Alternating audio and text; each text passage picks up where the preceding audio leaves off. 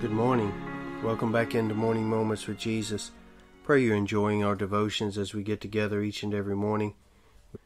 I was thinking about the mind and how the mind serves this dual purpose in the spiritual world. It's a garden and it's a battlefield. And it seems like both sides are locked into this eternal struggle to try to plant seeds in our lives and to fight for your day and to fight for your destiny. See, God plants seeds of love, compassion, spiritual growth for your true path and purpose in life. And God only wants the best seeds planted in your garden. But then there's the other side. And Satan is over there planting seeds of doubt, feelings of being unworthy, of grace and fear, unforgiveness, He's planting all this seed of unworthiness in your life that maybe will isolate you and keep you from being all you need to be. See, the difficulty is, is that we are born into this sinful world. And so sometimes it comes natural to give our attention and our light and our life to those fleshly seeds and let them grow in our lives instead of the ones that God is trying to plant. Now, when we do that, it seems like our light for Christ is much dimmer, and we are stuck and unable to really move forward in life.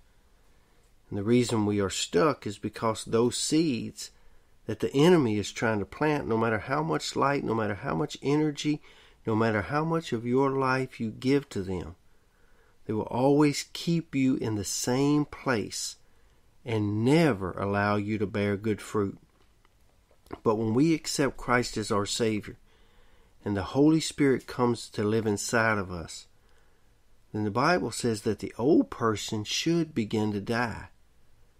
We have to realize that the new person, the one covered by the blood of Christ, gives us all power over Satan and this world.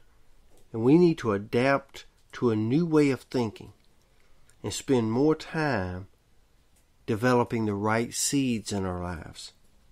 If we shine our light on the seeds of God, not only will those seeds grow, but they will start to bear fruit. And once they begin to bear fruit, they will allow us to experience a life that we would otherwise never know. It's a simple concept, really. It's never an easy one, but it's always a simple one. So today I want to pray a prayer. I want each and every one of us to be engaged in this prayer today. Today, let's just say, Lord, we seek your heart for personal growth in the weakest parts of our lives. Those areas where we are weak, we call on you to make us strong. We claim your power to keep us focused, to help us to see what is beyond the veil and beyond what we can see. There are shadows within our lives that need more light. There are seeds that need to grow that we have not been paying attention to. Lord, we need more clarity. We need more revelation. So shine into those areas, Lord, and show us what needs to go and what needs to remain. Only then, Lord, will we become the people that you have always wanted us to be. We claim this morning Psalm 51 and verse number 10 Create in me a clean heart, O God, and renew a right spirit within me. Today, all we need is Jesus Christ the Lord, nothing more, nothing less, and nothing else will ever do.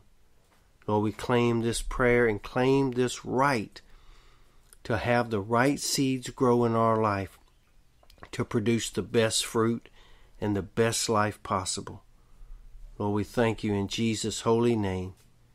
Amen.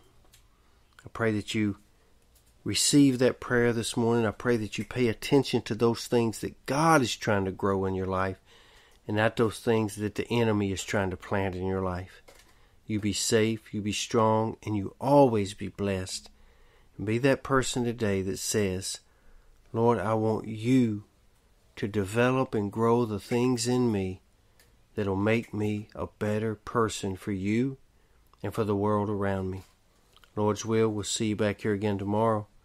And until then, as always, have a great day.